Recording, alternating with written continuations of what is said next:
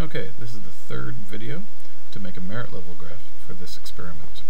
This continues from the achieved level graph and what we need is to make error bars. Now before we make the error bars we have to calculate these uncertainties from the linear data. So here we go into our Excel file. Now what we've done here is the merit level data might look a little different than your achieved level data. Most merit level data would include the time of more than one circle. In this case, we have 10 circles, 10 periods. The average is of a single period, so the graph would have looked identical no matter how the data came. But what we need to do is make error bars on this graph right here. We need to know how good these little blue dots are. How good are they left and right for centripetal force? How good are they up and down for the inverse of period squared? To do that we need uncertainties. So here we go. The uncertainty for each centripetal force comes from each L. Each L had an uncertainty of 0.01. So what we do is we use that 0.01. We say equals 0.01 and we divide by each length. So you just click on the first length. Then you're going to take that and you're going to multiply with each f, and that gives you a number. Now, this process is explained in other files, so you might have to review how to calculate uncertainties. That's the easier one. The harder one is the absolute uncertainty on each inverse of the period squared. This comes from the maximum and minimum subtracted, divided by 2. We divide again by 10 because each of these values up here is 10 periods. We then divide by the average, and then finally we multiply by 2 because we're squaring things. And again, there are some rules here that you might have to review. So really quickly, we take the maximum of the first set of values, we subtract the minimum of the same set of values, we put in some separate brackets, so that we can take half of that range, then we divide by 10, and then we divide by the average. So we click on G3 box.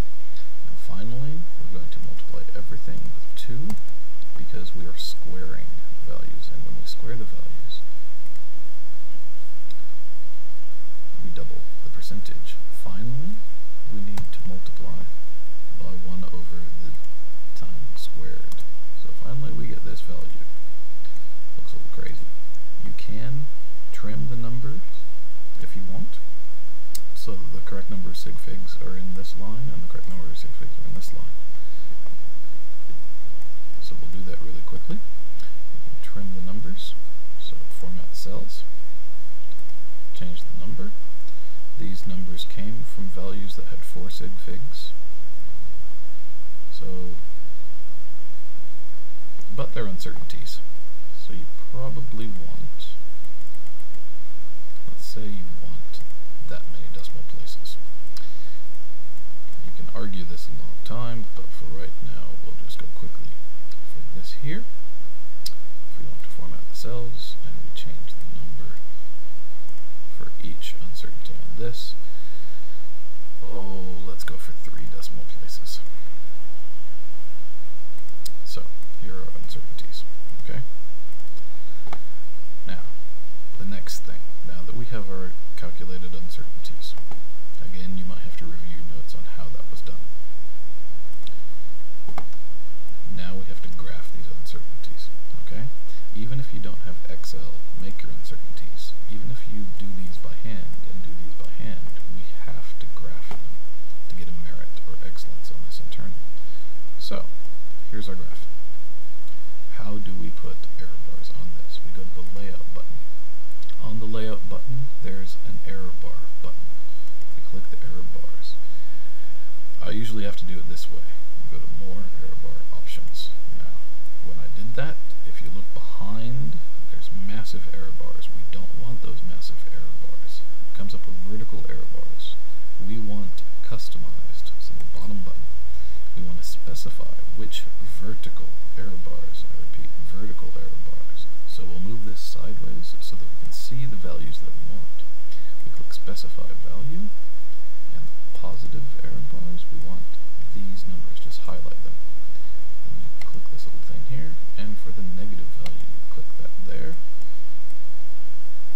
and you highlight those numbers.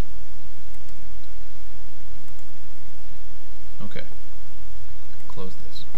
As you can see, the vertical error bars are what we want. Now the horizontal ones are massive, so if we just click on them, and then we right click, we can actually format those horizontal error bars. If we go into formatting the horizontal error bars, now it's at horizontals, we want to customize those. Specify that value, click on that little button, drag all those, and again for the bottom. Drag all those. Hit OK, hit close, and now the horizontal error bars as well are corresponding to these numbers here. And that's it. We now have this graph at merit level. So, when we print this graph, it's ready with our formula, 1 over t squared, with the gradient and the intercept. It's ready for the error bars, the largest error bars from this dot up here. The smallest ones are so small they barely show up. So that when we print, file, print, you will line up the error bars to make your error line. This is how to make a merit level graph.